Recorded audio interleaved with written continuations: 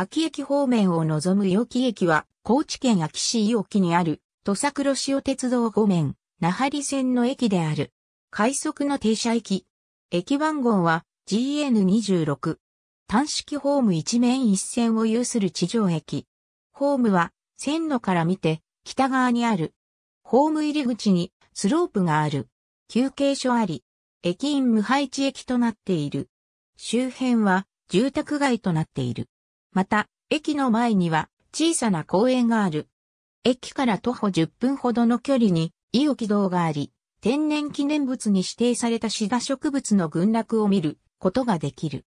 五面、那覇里線は、基本的に、高架、トンネルを多用した近代的な路線だが、伊予木付近は、未着工の状態に近く、建設費を抑えるために、地平区間とし、駅周辺に踏切が設置されている。名称は、伊予木虎尾くんでモニュメントは、ホーム上や横に設置されている。映画、男は辛いよの主人公、虎次郎がモチーフになっている。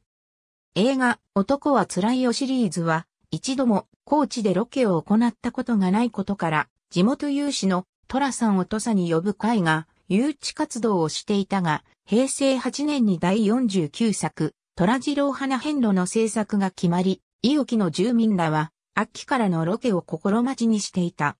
しかし厚見清が急逝、花変路は幻に終わった。国道の裏通りにはモデルにした虎さん地蔵がある。